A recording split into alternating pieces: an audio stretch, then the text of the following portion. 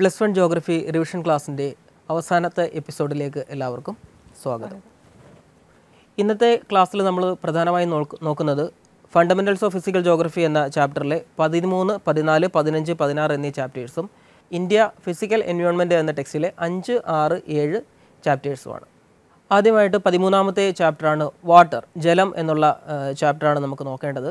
ജലസമൃദ്ധമായിട്ടുള്ള ഒരു ഗ്രഹമാണ് നമ്മുടേത്. അതുകൊണ്ട് തന്നെ അതിനെ ബ്ലൂ പ്ലാനറ്റ് എന്നാണ് അറിയപ്പെടുന്നത്. ഈ ചാപ്റ്ററിൽ അടുത്ത ഒരു ടോപ്പിക് വരുന്നത് ഹൈഡ്രോളജിക്കൽ സൈക്കിൾ അല്ലെങ്കിൽ ജലചക്രമാണ്. മൂന്ന് മാർഗിന് വരെയുള്ള ചോദ്യങ്ങൾ അതിൽ നിന്നും ഉണ്ടാവാറുണ്ട്.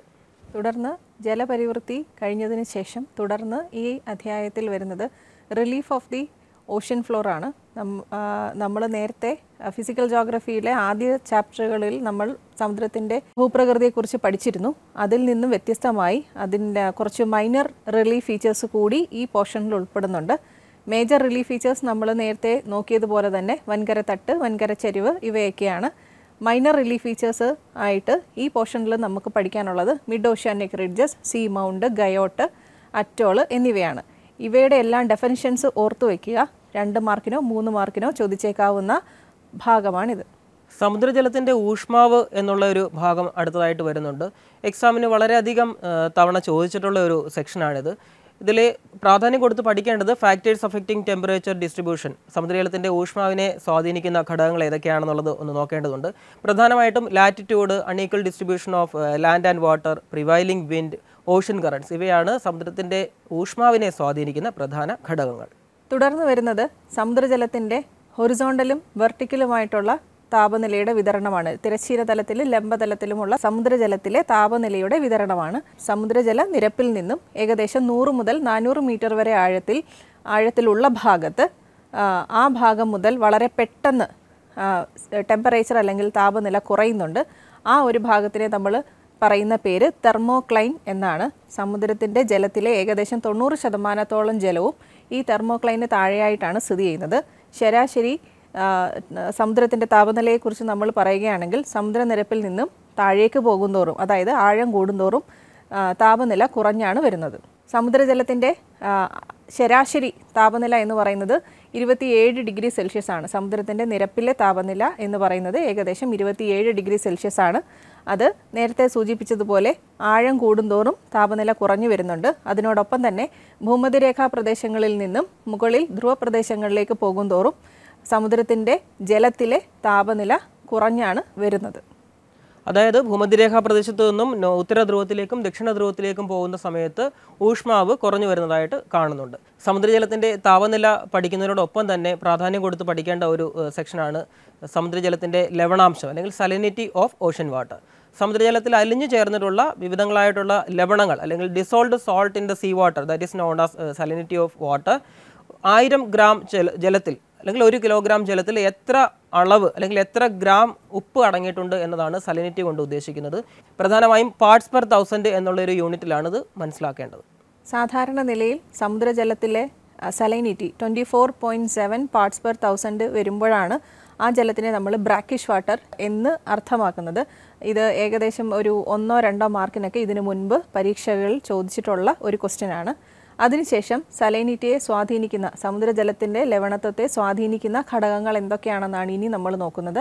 അതിൽ ആദ്യം വരുന്നത് ഇവോപ്രേഷൻ ആൻഡ് പ്രസിപ്പിറ്റേഷൻ ആണ്. ബാഷ്പീകരണവും വർഷണവും. അതിനുശേഷം രണ്ടാമത്തെ പോയിന്റ് എന്ന് പറയുന്നത് fresh water flow from rivers and freezing and thawing of ice പിന്നീട് കാറ്റും സമുദ്രജല പ്രവാഹങ്ങളും സമുദ്രത്തിലെ ലവണത്വത്തിന്റെ അളവിനെ സ്വാധീനിക്കാറുണ്ട്.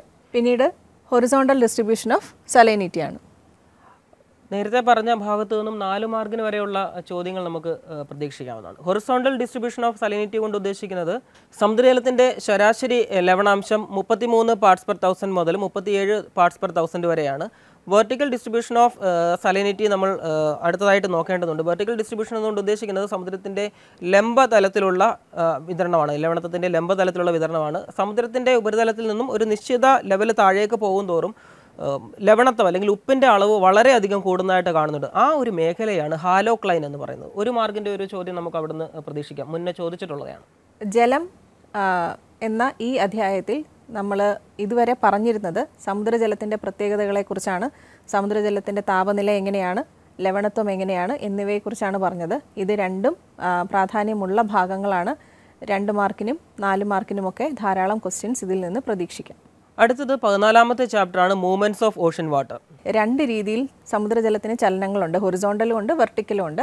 ഹൊറിസോണ്ടൽ മൂവ്മെന്റ് ഓഫ് ഓഷ്യൻ വാട്ടറിനെയാണ് നമ്മൾ ഓഷ്യൻ കറൻസ് എന്നും വേവ്സ് എന്നും പറയുന്നത്. അതായത് തിരശ്ചീന തലത്തിലുള്ള സമുദ്രജലത്തിന്റെ ചലനത്തിനെയാണ് നമ്മൾ തിരമാലകൾ അല്ലെങ്കിൽ തിരമാലകളും സമുദ്രജല പ്രവാഹങ്ങളും എന്ന് പറയുന്നത്. വെർട്ടിക്കൽ മോഷനെ ടൈറ്റ്സ് അല്ലെങ്കിൽ വേലികൾ എന്നും പറയും.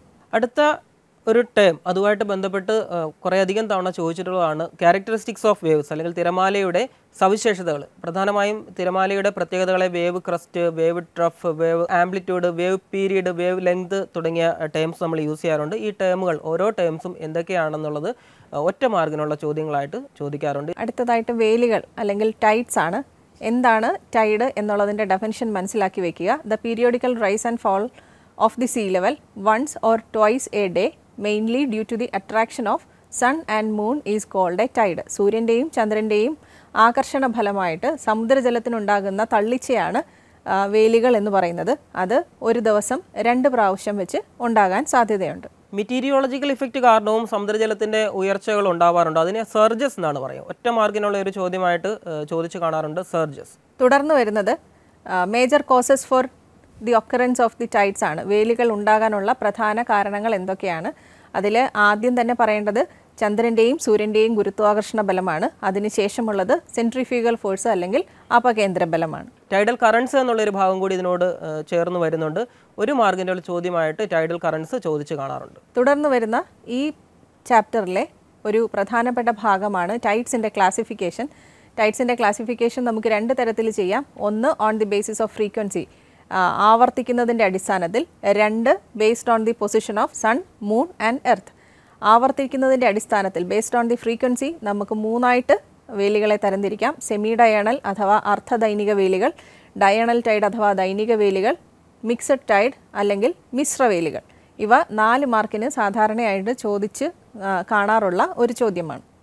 ഫ്രീക്വൻസിയുടെ അടിസ്ഥാനത്തിൽ വേലിയേറ്റങ്ങളെ ക്ലാസിഫൈ ചെയ്യുന്നവരോടൊപ്പം തന്നെ സൂര്യന്റെയും ചന്ദ്രന്റെയും ഭൂമിയുടെയും സ്ഥാനത്തെ അടിസ്ഥാനമാക്കിയും ഒരു വർഗീകരണം നടത്താവുന്നതാണ്. പ്രധാനമായിട്ടും സ്പ്രിംഗ് ടൈഡ് നീപ് ടൈഡ് എന്നിങ്ങനെയാണ് സൂര്യന്റെയും ഭൂമിയുടെയും ചന്ദ്രന്റെയും പൊസിഷനെ അടിസ്ഥാനമാക്കിയിട്ട് വേലികളെ വർഗീകരിക്കാവുന്നത് സ്പ്രിംഗ് ടൈഡ് അഥവാ വാവുവേലികൾ എന്ന് പറയുന്നത് when the sun moon and earth are in a straight line the height of the tide will be higher സൂര്യനും ചന്ദ്രനും ഭൂമിയും നേർരേഖയിലാണെങ്കിൽ പതിവിലും കൂടുതൽ ശക്തിയുള്ള വേലികൾ ഉണ്ടാകാം. ഇതിനെയാണ് വാവുവേലി എന്ന് പറയുന്നത്. മറ്റൊരു ടേമാണ് സപ്തമി വേലി അല്ലെങ്കിൽ നീപ് ടൈഡ്. സൂര്യന്റെയും ചന്ദ്രന്റെയും ഭൂമിയുടെയും സ്ഥാനം മട്ടകോണിൽ അല്ലെങ്കിൽ അല്ലെങ്കിൽ തൊണ്ണൂറ് ഡിഗ്രി ആംഗിളിലേക്ക് വരുന്ന സമയത്ത് താരതമ്യേന ശക്തി കുറഞ്ഞ ഒരു വേലിയേറ്റ വേലിയിറക്കങ്ങൾ ഉണ്ടാവാറുണ്ട്. ഇതിനെയാണ് നീപ് ടൈഡ് എന്ന് പറയുന്നത്. അതുപോലെ തന്നെ തുടർന്നുള്ള ഭാഗങ്ങളിൽ കുട്ടികൾ ശ്രദ്ധിക്കേണ്ട ഒന്ന് രണ്ട് ടേംസ് ഉണ്ട്. അത് സൂര്യന്റെയും ചന്ദ്രനും ഭൂമിയുമായിട്ട് നിൽക്കുന്ന പൊസിഷന്റെ അടിസ്ഥാനത്തിലാണ് ഭൂമിയിൽ നിന്ന് ഏറ്റവും അകലെ നിൽക്കുന്ന സ്ഥാനത്തിന്റെ പേരും ഭൂമിയോട് ഏറ്റവും അടുത്ത് നിൽക്കുന്ന സ്ഥാനത്തിന്റെ പേരും സൂര്യനും ചന്ദ്രനും. അതിനെ പെരിജി എന്നും അപ്പോജി എന്നും പെരിഹിലിയൻ അബ്ഹിലിയൻ എന്നും പറയാറുണ്ട്. അതുകൂടി ശ്രദ്ധിച്ചിരിക്കുക. അത് വൺ വേർഡിനോ രണ്ട് മാർക്കിനോ ഒക്കെ ചോദിക്കാൻ സാധ്യതയുള്ള ഭാഗങ്ങളാണ്. എബ് എന്നും ഫ്ലഡ് എന്നും രണ്ട് ടേം കൂടി ഇതുമായിട്ട് അസോസിയേറ്റ് ചെയ്ത് നമ്മൾ മനസ്സിലാക്കണം. തുടർച്ചയായുള്ള വേലിയേറ്റ വേലിയിറക്കങ്ങൾക്കിടയിൽ വാട്ടറിന്റെ ലെവൽ ഉയരുന്നതിനെ ഫ്ലഡ് എന്നും വാട്ടറിന്റെ ലെവൽ താഴുന്നതിനെ എബ് എന്നാണ് പറയുന്നത്. ഒരു മാർഗിന് ചോദിക്കാവുന്ന ഒരു ഏരിയയാണത്. തുടർന്ന് വേലികൾ പഠിക്കുന്നതിന്റെ അവസാനമായിട്ട് നമുക്ക് പഠിക്കാൻ ഉള്ളത് ഇമ്പോർട്ടൻസ് ഓഫ് ടൈറ്റ്സ് ആണ്. വേലികളുടെ പ്രാധാന്യം എന്തൊക്കെയാണ്? അതിലൊന്ന് നാവികരും മത്സ്യബന്ധനത്തിനായി പോകുന്നവരും വേലിയേറ്റത്തിന്റെയും വേലിയിറക്കത്തിന്റെയും സമയങ്ങൾ അനുസരിച്ച് അവരുടെ പ്രവർത്തനങ്ങൾ പ്ലാൻ ചെയ്യാറുണ്ട്. അതിനോടൊപ്പം തന്നെ അഴിമുഖങ്ങളിൽ നിന്നും മാലിന്യങ്ങളും മറ്റ് സെഡിമെൻസും ഒക്കെ നീക്കം ചെയ്യപ്പെടാനും വേലികൾ സഹായിക്കുന്നു. അതിനോടൊപ്പം വേലികളിൽ നിന്ന് വൈദ്യുത ഊർജം ഉൽപ്പാദിപ്പിക്കുകയും ചെയ്യുന്നുണ്ട്. വേലിയേറ്റത്തിന്റെ അല്ലെങ്കിൽ വേലിയേറ്റ വേലിയിറക്കങ്ങളുടെ പ്രാധാന്യം രണ്ട് മാർഗിന് ചോദിച്ചു കാണാറുണ്ട്. അടുത്തതായി സമുദ്രജല പ്രവാഹങ്ങൾ അഥവാ ഓഷ്യൻ കറൻസ് എന്നുള്ളൊരു ഭാഗമാണുള്ളത്. സമുദ്രജല പ്രവാഹങ്ങളെ സ്വാധീനിക്കുന്ന പ്രാഥമികമായിട്ടുള്ള ഘടകങ്ങൾ heating of solar energy wind gravity and Coriolis force ഈ ഘടകങ്ങൾ ഈ നാല് ഘടകങ്ങൾ സമുദ്രജല പ്രവാഹങ്ങൾ ഉണ്ടാകുന്നതിന് സ്വാധീനിക്കുന്നുണ്ട്. അടുത്തതായി വരുന്നത് ഓഷ്യൻ കറൻസിന്റെ വർഗീകരണമാണ് ടൈപ്സ് ഓഫ് ഓഷ്യൻ കറൻസ് ആണ്. രണ്ട് രീതിയിൽ നമുക്ക് ഓഷ്യൻ കറൻസ് അല്ലെങ്കിൽ സമുദ്രജല പ്രവാഹങ്ങളെ തരംതിരിക്കാം. അതിലാദ്യം ബേസ്ഡ് ഓൺ ദെയർ ഡെപ്ത് ആണ്. ആഴ ആഴമനുസരിച്ചാണ് അത് സർഫസ് കറൻസ് എന്നും ഡീപ്പ് വാട്ടർ കറൻസ് എന്നും നമുക്ക് സമുദ്രജല പ്രവാഹങ്ങളെ തരംതിരിക്കാം. ഏകദേശം എൺപത് ശതമാനത്തോളം സമുദ്രജല പ്രവാഹങ്ങളും ഡീപ്പ് വാട്ടർ കറൻസ് ആണ്. പിന്നീട് ബേസ്ഡ് ഓൺ ദി ടെമ്പറേച്ചർ താപനിലയെ അടിസ്ഥാനമാക്കി നമുക്ക് വാം ഓഷ്യൻ കറൻസ് അല്ലെങ്കിൽ ഉഷ്ണ സമുദ്രജല പ്രവാഹങ്ങളെന്നും കോൾഡ് ഓഷ്യൻ കറൻസ് അല്ലെങ്കിൽ ശീത സമുദ്രജല പ്രവാഹങ്ങളെന്നും തരംതിരിക്കാം. ഉഷ്ണമേഖലാ പ്രദേശങ്ങളിൽ നിന്നും ഒഴുകി വരുന്ന സമുദ്രജല പ്രവാഹങ്ങളെയാണ് ഉഷ്ണജല പ്രവാഹങ്ങൾ എന്നുകൊണ്ട് ഉദ്ദേശിക്കുന്നത്. അതുപോലെ തന്നെ തണുപ്പ് കൂടിയ പ്രദേശങ്ങൾ ധ്രുവപ്രദേശങ്ങൾ ഉൾപ്പെടെയുള്ള തണുപ്പ് കൂടിയ പ്രദേശങ്ങളിൽ നിന്നും ഒഴുകി വരുന്ന ഊഷ്മാവ് കുറഞ്ഞ സമുദ്രജല പ്രവാഹങ്ങളാണ് കോൾഡ് കറൻസ് അടുത്തതായി സമുദ്രജല പ്രവാഹങ്ങളുടെ ഒരു പ്രാധാന്യമുണ്ട് അല്ലെങ്കിൽ ഇഫക്ട്സ് ഓഫ് ഓഷ്യൻ കറൻസ് അവ എന്തൊക്കെയാണെന്ന് നമുക്കൊന്ന് നോക്കാം. സാധാരണയായിട്ട് സമുദ്രജല പ്രവാഹങ്ങളുടെ ഒരു ഇഫക്റ്റ് വരുന്നത് സബ് ട്രോപ്പിക്കൽ ഡെസേർട്ടുകളൊക്കെ സ്ഥിതി ചെയ്യുന്ന കോണ്ടിനെൻസിന്റെ തീരപ്രദേശങ്ങളിലൂടെ ഒരു ശീതജലമുള്ള സമുദ്രജല പ്രവാഹം കടന്നു പോവുകയാണെങ്കിൽ അവിടുത്തെ ചൂടിനെ അല്ലെങ്കിൽ താപനിലയെ കുറച്ചൊന്ന് കുറയ്ക്കാൻ സഹായിക്കും. അതുപോലെ തന്നെ തിരിച്ചും. നല്ല തണുപ്പുള്ള കാലാവസ്ഥയുള്ള പ്രദേശങ്ങളുടെ അരികിലൂടെ അല്ലെങ്കിൽ സമുദ്രത്തിന്റെ തീരത്തുകൂടെ ഉഷ്ണജല പ്രവാഹമാണ് കടന്നു പോകുന്നതെങ്കിൽ അവിടുത്തെ കാലാവസ്ഥയെ ഒന്ന് മോഡറേറ്റ് ചെയ്യാനും ഈ സമുദ്രജല പ്രവാഹങ്ങൾ സ്വാധീനിക്കാറുണ്ട്. സമുദ്രജല പ്രവാഹങ്ങൾ കുറിച്ച് പറയുമ്പോൾ ഉഷ്ണജല പ്രവാഹങ്ങളും ശീതജല പ്രവാഹങ്ങളും തമ്മിൽ ജോയിൻ ചെയ്യുന്ന അല്ലെങ്കിൽ ഇതിന്റെ കോൺഫ്ലുവൻസ് മീറ്റിംഗ് പ്ലേസിൽ മത്സ്യങ്ങളുടെ നിലനിൽപ്പിന് ആവശ്യമായിട്ടുള്ള മത്സ്യത്തിന്റെ ഭക്ഷണം പ്ലാങ്ടൺസ് എന്നറിയപ്പെടുന്ന സൂക്ഷ്മജീവികളുടെ വളർച്ചയ്ക്ക് വളരെയധികം സഹായമാകുന്നുണ്ട്. ഇതും ഈ സമുദ്രയിലെ പ്രവാഹങ്ങളുടെ ഒരു പ്രത്യേകതയായിട്ട് നമുക്ക് ചൂണ്ടിക്കാണിക്കാം. ഇതുമായിട്ട് ബന്ധപ്പെട്ട് നാല് മാർഗിന് വരെയുള്ള ചോദ്യങ്ങൾ ചോദിക്കാറുണ്ട്. വളരെ പ്രധാനപ്പെട്ട പ്രാധാന്യം കൊടുത്ത് വേണം സമുദ്രയിലെ പ്രവാഹങ്ങളുടെയും വേലി ഏറ്റ വേലിയിറക്കങ്ങളുടെയും പ്രാധാന്യം അല്ലെങ്കിൽ ഇഫക്ട്സ് കുട്ടികൾ മനസ്സിലാക്കി വെക്കാൻ. അടുത്ത ചാപ്റ്റർ പതിനഞ്ചാമത്തെ ചാപ്റ്ററാണ് ലൈഫ് ഓൺ എർത്ത് അല്ലെങ്കിൽ ഭൂമിയിലെ ജീവൻ. ഈ യൂണിറ്റിൽ നമ്മൾ പഠിക്കുന്നത് ബയോസ്ഫിയറിനെ കുറിച്ച് ecosystem biogeochemical cycles ecological balance biodiversity and conservation എന്നിവയെക്കുറിച്ചാണ്. ഒരു മാർക്കിന്റെ രണ്ട് ചോദ്യങ്ങൾ അവിടെ നമുക്ക് പ്രതീക്ഷിക്കാം. ബയോസ്ഫിയറിന്റെയും ഇക്കോളജിയുടെയും ഡെഫിനിഷൻസ് നമുക്ക് ഈ ഭാഗത്ത് നിന്നും പ്രതീക്ഷിക്കാവുന്നതാണ്. ഇക്കോളജി എന്ന വാക്ക് കൊണ്ടുവരുന്നത് ഏണസ്റ്റ് ഹേക്കൽ എന്ന് പറയുന്ന സയന്റിസ്റ്റാണ് അത് മിക്കവാറും വൺ വേർഡിന് ചോദിക്കാൻ സാധ്യതയുള്ള ഒന്നാണ്. പിന്നീട് തുടർന്ന് നമ്മൾ നോക്കുന്നത് എക്കോസിസ്റ്റത്തിന്റെ ടൈപ്പാണ് എത്ര തരത്തിലുള്ള എക്കോസിസ്റ്റംസ് ഉണ്ട്? രണ്ട് തരത്തിലുള്ള എക്കോസിസ്റ്റംസ് ഉണ്ട്. ടെറസ്ട്രിയലും അക്വാട്ടിക്കും ടെറസ്ട്രിയൽ എന്ന് പറയുന്നത് നമ്മുടെ കരയിലുള്ള ആവാസ വ്യവസ്ഥകളെയാണ് നമ്മൾ ടെറസ്ട്രിയൽ എക്കോസിസ്റ്റം എന്ന് പറയുന്നത്. A biomes a plant and animal community that covers a large geographical area ഒരു വലിയ ഭൂമിശാസ്ത്രപരമായ സവിശേഷതയുള്ള പ്രദേശത്തിൽ സ്ഥിതി ചെയ്യുന്ന എല്ലാ സസ്യങ്ങളുടെയും ജന്തുക്കളുടെയും മൊത്തത്തിലുള്ള കമ്മ്യൂണിറ്റിയാണ് നമ്മൾ ബയോം എന്ന് പറയുന്നത്. മറ്റൊരു രീതിയിൽ പറഞ്ഞാൽ കരയിലെ ആവാസ വ്യവസ്ഥയെ ബയോമുകളായിട്ടാണ് തിരിച്ചിട്ടുള്ളത്. പ്രധാനമായും നാല് ബയോമുകളാണുള്ളത്. Forest grassland desert and tundra biomes. Aquatic എക്കോസിസ്റ്റമാണ് അടുത്തത്. അവിടെ നിന്ന് വൺ വേർഡിനോ അല്ലെങ്കിൽ രണ്ട് മാർക്കിനോ ഉള്ള ചോദ്യങ്ങൾ പ്രതീക്ഷിക്കാവുന്നതാണ്. അക്വാട്ടിക് എക്കോസിസ്റ്റത്തിനെ നമുക്ക് രണ്ടായി തരംതിരിക്കാം. മറൈൻ എക്കോസിസ്റ്റം എന്നും ഫ്രഷ് വാട്ടർ എക്കോസിസ്റ്റം എന്നും നമുക്ക് രണ്ടായിട്ട് തരംതിരിക്കാം. ഈ ചാപ്റ്ററിൽ structure and functions of ecosystem ഒരു ഫ്ലോ ചാർട്ട് തന്നിട്ടുണ്ട്. സ്ലൈഡിൽ നിങ്ങൾക്കത് കാണാനായിട്ട് സാധിക്കും. അതിൽ നിന്നും ചോദ്യങ്ങൾ ചോദിച്ച് കാണാറുണ്ട്. ആ ഫ്ലോ ചാർട്ട് കൃത്യമായിട്ടൊന്ന് മനസ്സിലാക്കി വെക്കേണ്ടതാണ്. അടുത്ത മൂന്ന് ടേംസ് ഈ ഭാഗത്തു നിന്ന് വരുന്നത് food chain flow of energy food web ഇതിന്റെ ഡെഫിനിഷൻസ് എന്തൊക്കെയാണെന്ന് കുട്ടികൾ നേരത്തെ നിങ്ങൾ ചെറിയ ക്ലാസ്സിൽ തന്നെ പഠിച്ചിട്ടുള്ളതാണ്. അതൊന്ന് നോക്കി വയ്ക്കുക രണ്ട് തരത്തിലുള്ള ഫുഡ് ചെയിൻ ഉണ്ടെന്നും നിങ്ങൾ ചെറിയ ക്ലാസ്സുകളിലെ പഠിച്ചു വന്നിട്ടുള്ളതാണ്.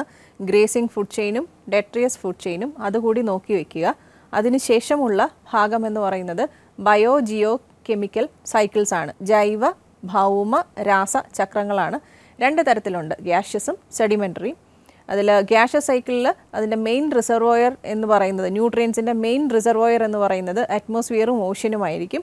അതേസമയം സെഡിമെന്ററിയിലാണെങ്കിൽ ഭൂമിയിൽ കാണപ്പെടുന്ന ഭൂമിയുടെ ഉപരിതലത്തിൽ കാണപ്പെടുന്ന ശിലകളും മറ്റുമാണ് അതിന്റെ റിസർവോയേഴ്സ്. മൂന്ന് പ്രധാനപ്പെട്ട സൈക്കിൾസ് ആണ്. അതിൽ നമുക്ക് നോക്കേണ്ടത് carbon cycle oxygen cycle and nitrogen cycle ഈ മൂന്ന് സൈക്കിൾസിന്റെയും ഡയഗ്രാം പുസ്തകങ്ങളിലുണ്ട്. അതോടൊപ്പം തന്നെ നൈട്രജൻ സൈക്കിൾ നമ്മൾ പഠിക്കുന്ന സമയത്ത് ഡീ നൈട്രിഫിക്കേഷൻ ഡീ നൈട്രിഫിക്കേഷൻ കുറേ അധികം തവണ ഒരു മാർക്കിന്റെ ചോദ്യമായിട്ട് ചോദിച്ചിട്ടുണ്ട്. കുട്ടികൾ അത് പ്രാധാന്യത്തോടെ പഠിക്കണം. അടുത്ത അധ്യായം പതിനാറാമത്തെ അധ്യായമാണ്. ബയോഡൈവേഴ്സിറ്റി ആൻഡ് കൺസർവേഷനാണ് ജൈവ വൈവിധ്യവും അതിന്റെ സംരക്ഷണവുമാണ്. അതിൽ ബയോഡൈവേഴ്സിറ്റി എന്താണെന്നും അതിന്റെ ഡെഫിനിഷൻ എന്താണെന്നും ഏതൊക്കെ വാക്കുകളിൽ നിന്നാണ് ബയോഡൈവേഴ്സിറ്റി വന്നത് എന്നുള്ളതും കുട്ടികൾ കറക്റ്റായി മനസ്സിലാക്കി വെക്കുക. അവിടെ നിന്ന് ഒന്നോ രണ്ടോ മാർക്കിനുള്ള ക്വസ്റ്റ്യൻസ് പ്രതീക്ഷിക്കാം. അതുപോലെ രണ്ട് മാർക്കിന്റെ ഒരു ചോദ്യം വരാൻ സാധ്യതയുള്ള ഒരു ഏരിയ ആണ് ബയോഡൈവേഴ്സിറ്റിയെ മൂന്ന് രീതിയിൽ നമുക്ക് മനസ്സിലാക്കാനായിട്ട് സാധിക്കും. Genetic diversity species diversity and ecosystem diversity. ഇവിടെ ആ ഓരോ ഡൈവേഴ്സിറ്റി ബയോഡൈവേഴ്സിറ്റിയുടെ ഈ മൂന്ന് ഭാഗങ്ങളും രണ്ട് മാർക്കിനോ ഓരോ മാർക്കിനോ വീതം ചോദിക്കാനായിട്ട് സാധ്യതയുണ്ട്. തുടർന്ന് ഇമ്പോർട്ടൻസ് ഓഫ് ബയോഡൈവേഴ്സിറ്റി ഉണ്ട്. ജൈവ വൈവിധ്യത്തിന്റെ പ്രാധാന്യം. അത് ഇക്കോളജിക്കലായിട്ടുണ്ട് എക്കോണമിക് ആയിട്ടുണ്ട് സയന്റിഫിക് ആയിട്ടുണ്ട്. അത് വിശദീകരിച്ച് തന്നെ പുസ്തകത്തിൽ കൊടുത്തിട്ടുണ്ട്. പുസ്തകം അത് വായിച്ചു നോക്കിയിട്ട് അതിൽ നിന്ന് ക്വസ്റ്റ്യൻസ് ചോദിക്കുകയാണെങ്കിൽ എഴുതണം. അതിനോടൊപ്പം തന്നെ ബയോഡൈവേഴ്സിറ്റിയുടെ ലോസ് ജൈവ വൈവിധ്യം നശിക്കപ്പെടുന്നതിനെക്കുറിച്ചും എന്തെല്ലാം കാരണങ്ങളാണ് അതിനുള്ളത് എന്നുള്ളതിനെക്കുറിച്ചുമൊക്കെ അതിൽ വിശദമായി പ്രതിപാദിക്കുന്നുണ്ട്. അതും കുട്ടികൾ നന്നായി വായിച്ചു നോക്കുക. എക്സോട്ടിക് സ്പീഷീസ് എന്നുള്ള ഒരു ടേം കൂടി ഇതുമായിട്ട് ബന്ധപ്പെട്ട് നമ്മൾ മനസ്സിലാക്കേണ്ടതുണ്ട്. ഒരു മാർഗിന് ചോദിച്ച് കാണാറുള്ള ഒരു ടേമാണ് എക്സോട്ടിക് സ്പീഷീസ് അടുത്തതായിട്ട് international union of conservation of nature and natural resources I U C N എന്ന സംഘടന വംശനാശ ഭീഷണി നേരിടുന്ന ജീവജാലങ്ങളെക്കുറിച്ച് ഒരു ലിസ്റ്റ് ഇറക്കാറുണ്ട്. ആ ലിസ്റ്റിന്റെ പേര് റട്ട് ലിസ്റ്റ് എന്നാണ്. അത് വളരെയധികം പ്രാധാന്യമുള്ള അന്തർദേശീയ തലത്തിൽ വളരെയധികം പ്രാധാന്യമുള്ള ഒന്നാണ്. അത് മനസ്സിലാക്കി വയ്ക്കുക അതിനോടൊപ്പം തന്നെ ആ സംഘടന ഇറക്കിയ റിപ്പോർട്ട് പ്രകാരം മൂന്ന് തരത്തിലുള്ള സ്പീഷീസ് ഉണ്ട്. Endangered species vulnerable species rare species എൻഡേഞ്ചേർഡും വൾണറബിളും റയറും അത് മൂന്നും വായിച്ചു വയ്ക്കുക ഏതെങ്കിലും കാരണവശാൽ ഒരു മൂന്ന് മാർക്കിന്റെ ക്വസ്റ്റ്യൻ ചോദിച്ചാൽ അത് മൂന്നും കറക്റ്റായിട്ട് എഴുതണം. ഈ ചാപ്റ്ററിലെ മറ്റൊരു പ്രധാനപ്പെട്ട ഏരിയയാണ് മെഗാ ഡൈവേഴ്സിറ്റി സെന്റേഴ്സ് ഉഷ്ണമേഖലാ പ്രദേശത്ത് വളരെ അധികം ജൈവ വൈവിധ്യം നമുക്ക് കാണാനായിട്ട് പറ്റുന്നുണ്ട്. ഇങ്ങനെ ജൈവ വൈവിധ്യം അനുഭവപ്പെടുന്ന അല്ലെങ്കിൽ കാണപ്പെടുന്ന പ്രദേശങ്ങളെ മെഗാ ഡൈവേഴ്സിറ്റി സെന്റേഴ്സ് എന്നുള്ള ലെവലിൽ ഐഡന്റിഫൈ ചെയ്തിട്ടുണ്ട്. അതിന്റെ ഒരു സ്ലൈഡ് നിങ്ങൾക്ക് കാണാനായിട്ട് സാധിക്കും. മെഗാ ഡൈവേഴ്സിറ്റി സെന്റേഴ്സിന്റെ പേരുകളൊന്ന് മനസ്സിലാക്കി വെക്കുക. അടുത്തതായിട്ട് നമ്മൾ പറയുന്ന ചാപ്റ്റർ ഇന്ത്യ ഫിസിക്കൽ എൻവയോൺമെന്റിൽ നിന്നും അഞ്ചാമത്തെ അധ്യായമായ നാച്ചുറൽ വെജിറ്റേഷനാണ് നൈസർഗിക സസ്യജാലം.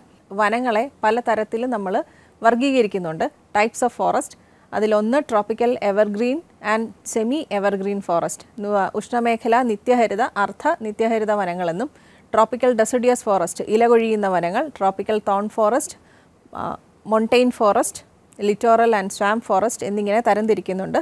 ചെറിയ ക്ലാസ്സുകൾ ഹൈസ്കൂൾ ക്ലാസ്സുകളിൽ നിങ്ങൾ പഠിച്ചു വന്ന ടോപ്പിക്കാണ് അത് ഒന്നുകൂടി വിശദമായി പഠിച്ച് പോയിന്റുകളാക്കി പഠിക്കാൻ ശ്രമിക്കുക. എസ് എ എസ് എക്കോ അല്ലെങ്കിൽ രണ്ട് മാർക്കിനോ നാല് മാർക്കിനോ ഒക്കെ ചോദിക്കാൻ സാധ്യതയുള്ള ഒരു ഭാഗമാണിത്. മാപ്പ് തന്നിട്ട് identify the particular type of forest എന്നുള്ളൊരു ചോദ്യം കൂടി ഈ ഏരിയയിൽ നിന്ന് നമുക്ക് കാണാനായിട്ട് പറ്റുന്നുണ്ട്.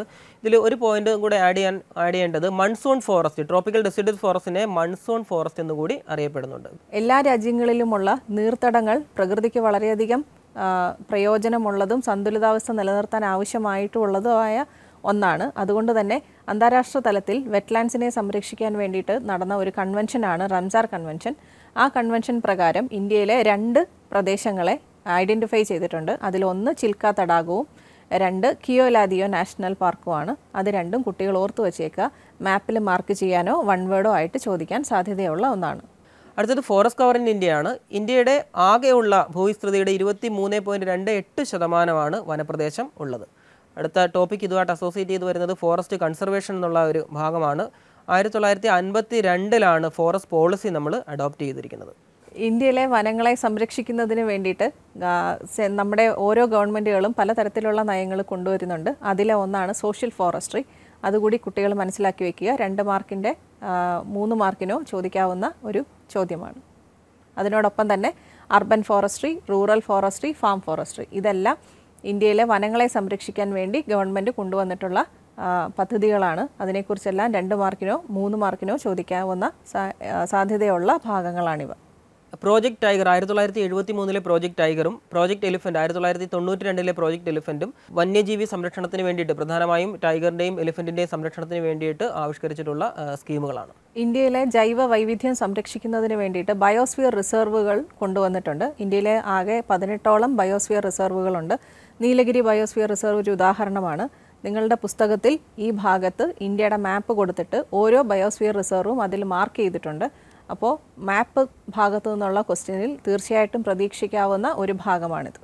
ഇന്ത്യ ഫിസിക്കൽ എൻവയോൺമെന്റിൽ ചാപ്റ്റർ സിക്സ് സോയിൽസ് എന്നുള്ള പാഠത്തിലെ പ്രധാനപ്പെട്ട പോയിന്റുകൾ എന്തൊക്കെയാണെന്നൊന്ന് നോക്കാം. ഈ പാഠഭാഗത്ത് നോക്കേണ്ടത് എന്താണ് സോയിൽ സോയിലിന്റെ ഡെഫിനിഷൻ ഓർത്തു വയ്ക്കുക. അതിനോടൊപ്പം തന്നെ മണ്ണിന്റെ രൂപീകരണത്തിന് സ്വാധീനിക്കുന്ന ചില ഘടകങ്ങളുണ്ട്. Relief parent material climate vegetation other life forms etcetera ഇവയൊക്കെ ഒന്ന് നോക്കി വെച്ചേക്കുക. നാല് മാർക്കിനോ ആറ് മാർക്കിനോ ചോദിക്കാവുന്ന ഭാഗങ്ങളാണിവ. തുടർന്ന് വരുന്നത് മണ്ണിന്റെ ക്ലാസിഫിക്കേഷനാണ് അതായത് ഇന്ത്യയിൽ കാണപ്പെടുന്ന മണ്ണിനങ്ങളെ ഐ സി എ ആർ എന്ന് പറയുന്ന സംഘടന തരംതിരിച്ചിട്ടുണ്ട്. അതിന്റെ രീതികളനുസരിച്ച് ലൊക്കേഷൻ അനുസരിച്ച് അങ്ങനെ പല ഘടകങ്ങളുടെ അടിസ്ഥാനത്തിൽ തരംതിരിച്ചിട്ടുണ്ട്. ആ തരംതിരിക്കൽ എങ്ങനെയാണെന്ന് നമുക്ക് നോക്കാം. Alluvial soil black soil red and yellow soil laterite soil arid soil saline soil P T soil and forest soil എന്നിങ്ങനെ എട്ട് തരത്തിലാണ് ഇന്ത്യയിലെ മണ്ണിനങ്ങളെ തരംതിരിച്ചിട്ടുള്ളത്. ഇതിന്റെ ഒരു സ്ലൈഡ് നിങ്ങൾക്ക് കാണാവുന്നതാണ്. ഇതും മാപ്പ് തന്നിട്ട് ഇന്ത്യയിലെ വിവിധങ്ങളായിട്ടുള്ള മണ്ണിനങ്ങളുടെ മാപ്പ് തന്നിട്ട് മണ്ണിനങ്ങളെ തിരിച്ചറിയാൻ അല്ലെങ്കിൽ തിരിച്ചറിയുക അവയെക്കുറിച്ച് വിശദമാക്കുക എന്നുള്ള രീതിയിൽ രണ്ട് മാർഗിനും മൂന്ന് മാർക്കിനും ഒക്കെ ഈ ഭാഗത്തു നിന്ന് ചോദ്യങ്ങൾ വരാറുണ്ട്. തുടർന്ന് ഈ ചാപ്റ്ററിൽ ഇനിയുള്ളത് സോയിൽ ഡീഗ്രഡേഷൻ സോയിൽ ഇറോഷൻ എന്നിവയാണ്. മണ്ണ് ഒലിപ്പിന് കാരണമാകുന്നത് എന്തൊക്കെ ഘടകങ്ങളാണ് എന്നുള്ളതാണ്. അതിനോടൊപ്പം ഒരു വൺ വേർഡ് പ്രതീക്ഷിക്കാൻ പറ്റുന്ന ഒന്ന് ബാഡ് ലാൻഡ് ടോപ്പോഗ്രഫി എന്ന് പറയുന്ന ഒരു ഭാഗം ഇന്ത്യയിലുണ്ട്. ചമ്പൽ വനങ്ങളാണവ. അപ്പോൾ ആ ഭാഗം വൺ വേർഡ് ചോദിക്കാൻ സാധ്യതയുണ്ട്. അതിനോടൊപ്പം തന്നെ സോയിൽ കൺസർവേഷന്റെ മെത്തേഡ്സ് മണ്ണ് സംരക്ഷിക്കാനുള്ള വിവിധങ്ങളായിട്ടുള്ള മാർഗങ്ങൾ എന്തൊക്കെയാണെന്നും ഈ ചാപ്റ്ററിൽ നിന്ന് തുടർന്ന് പ്രതീക്ഷിക്കാവുന്ന ചോദ്യങ്ങളാണ്. ഏഴാമത്തെ ചാപ്റ്ററാണ് അടുത്തത്. നാച്ചുറൽ ഹസാർഡ്സ് ആൻഡ് ഡിസാസ്റ്റർ ഇതിന്റെ ആദ്യ ഭാഗത്ത് നിന്നും നാച്ചുറൽ ഹസാർഡ് എന്താണ് നാച്ചുറൽ ഡിസാസ്റ്റർ എന്താണ് എന്നുള്ളത് ഒന്നോ രണ്ടോ സെന്റൻസിൽ എഴുതാനായിട്ട് കുട്ടികൾ തയ്യാറെടുത്ത് ഇരിക്കേണ്ടതാണ്. തുടർന്ന് ഈ അധ്യായത്തിൽ നിന്നും വളരെ പ്രാധാന്യമുള്ളതും മിക്കവാറും എല്ലാ വർഷങ്ങളിലും ഒരു മാർക്കിനെങ്കിലും ചോദിച്ചിട്ടുള്ളതുമായ ഒരു ഭാഗമാണ് ക്ലാസിഫിക്കേഷൻ ഓഫ് നാച്ചുറൽ ഡിസാസ്റ്റർ അത് നാല് തരത്തിലുണ്ട് ടെറസ്ട്രിയൽ അക്വാട്ടിക് അറ്റ്മോസ്ഫറിക് ബയോളജിക്കൽ ഇത് ഒരു ടേബിൾ പോലെ നിങ്ങളുടെ പുസ്തകത്തിൽ കൊടുത്തിട്ടുണ്ട്. അത് മാച്ച് ദി ഫോളോയിങ്ങിലും ഒക്കെ ആയിട്ട് സ്ഥിരമായിട്ട് ചോദിക്കുന്ന ഒരു ഏരിയയാണ്. ഇനിയുള്ള ഭാഗങ്ങളിൽ വരുന്നത് ഓരോ ഡിസാസ്റ്ററും അതായത് എർത്ത് ക്വേക്ക് ഫ്ലഡ് ഡ്രോട്ട് അങ്ങനെയുള്ള ഭാഗങ്ങളാണ്. ഓരോന്നിനെക്കുറിച്ചും എർത്ത് ക്വേക്കിനെ കുറിച്ച് വീണ്ടും വിശദീകരിക്കേണ്ട ആവശ്യമില്ല. കാരണം നമ്മൾ ഫിസിക്കൽ ജോഗ്രഫിയിൽ എർത്ത് ക്വേക്കിനെ കുറിച്ച് പഠിച്ചതാണ്. അതിൽ തന്നെ എർത്ത് ക്വേക്കിന്റെ റെമഡിയൽ മെഷേഴ്സും എന്ത് എങ്ങനെയൊക്കെ നമുക്ക് ഭൂകമ്പം വന്നാൽ മാനേജ് ചെയ്യാം എന്നുള്ളതിനെക്കുറിച്ചുമെല്ലാം നമ്മൾ ആ ഭാഗങ്ങളിൽ പഠിച്ചിട്ടുള്ളതാണ്. അടുത്ത സെക്ഷൻ ഡിസാസ്റ്റർ മാനേജ്മെന്റ് എന്നുള്ളതാണ്. രണ്ടായിരത്തി അഞ്ചിലാണ് ദ ഡിസാസ്റ്റർ മാനേജ്മെന്റ് ബില്ല് പാസ്സാക്കിയിട്ടുള്ളത്. ഡിസാസ്റ്റർ മാനേജ്മെന്റ് പ്രധാനമായും മൂന്ന് രീതിയിലാണ് അതിന്റെ പ്രവർത്തനങ്ങൾ ഏകോപിപ്പിക്കുന്നത്. Pre disaster management during the disaster and post disaster operations. ഈ മൂന്ന് തരത്തിലാണ് പ്രകൃതി ദുരന്തങ്ങളെ മാനേജ് ചെയ്യുന്നതിന് വേണ്ടിയിട്ടുള്ള സംവിധാനം നിലനിൽക്കുന്നത്. ഏറ്റവും അവസാനത്തെ ഈ അധ്യായത്തിൽ നമുക്ക് ഇതിന് നേരത്തെ ഞാൻ പറഞ്ഞിരുന്നു ഭൂകമ്പങ്ങളും വെള്ളപ്പൊക്കങ്ങളും വരൾച്ച അങ്ങനെയുള്ള പ്രകൃതി ദുരന്തങ്ങളെക്കുറിച്ചാണ് നമ്മൾ ഈ അധ്യായത്തിൽ പഠിച്ചത്. ഇതിനകത്ത് എടുത്ത് ചോദിക്കാൻ പറ്റുന്ന അല്ലെങ്കിൽ ചോദിച്ചിട്ടുള്ള രണ്ട് മാർക്കിനോ മൂന്ന് മാർക്കിനോ ചോദിച്ചിട്ടുള്ള ഒന്നാണ് വിവിധ തരം വരൾച്ചകൾ.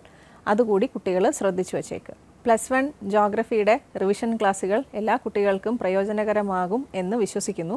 ഞങ്ങൾ നാല് അധ്യാപകരാണ് റിവിഷൻ ക്ലാസ്സുകൾ എടുത്തത്. ഓരോ ചാപ്റ്ററിലെയും പ്രധാനപ്പെട്ട ഭാഗങ്ങളും ഏതൊക്കെ ഭാഗങ്ങളിൽ നിന്ന് കൂടുതൽ മാർക്കിനും ഉള്ള ചോദ്യങ്ങൾ വരുമെന്നും വൺ വേർഡിനും ഉള്ള ചോദ്യങ്ങൾ കിട്ടുമെന്നാണ് നമ്മൾ പ്രധാനമായിട്ടും ഡിസ്കസ് ചെയ്തത്. എല്ലാ കുട്ടികളും നന്നായി പഠിക്കുക. എല്ലാവർക്കും നല്ല വിജയം ആശംസിക്കുന്നു. വിജയാശംസകൾ.